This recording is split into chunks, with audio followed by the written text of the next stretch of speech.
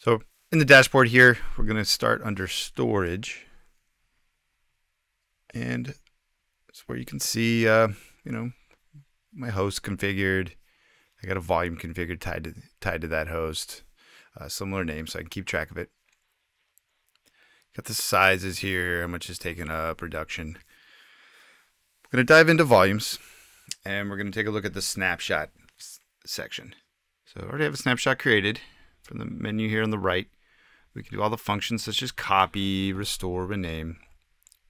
Go ahead and make a copy real quick, show you how easy that is to do. Spaceless copy. Just making a copy vol volume from that snapshot. Go back in this menu. Uh, we can restore from here, of course, rename. Uh, but we also have the ability to destroy. So this is remove that snapshot manually. To destroy, but Pure does something where it puts it into this destroy bucket. It's a, a recycle bin, if you will. So it's not off the array for another day. Right? By default, 24 hours, it's going to sit there, and then you know Pure clean it up later. If I did it by accident, I can come in here and say recover, and bring that right back to the volume snapshots.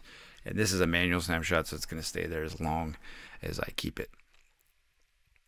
Now we made that volume copy, so I'm going to come over here to volumes. We see we have very similar choices. I can also destroy that volume, right? This is really any volume. We're doing it from a copy.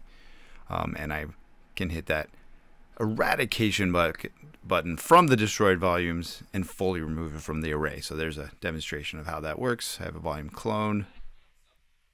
I had it in volumes. I fully deleted it in the eradication bucket. And then I fully eradicated it so it's now off the array. Those pointers are no longer on that array.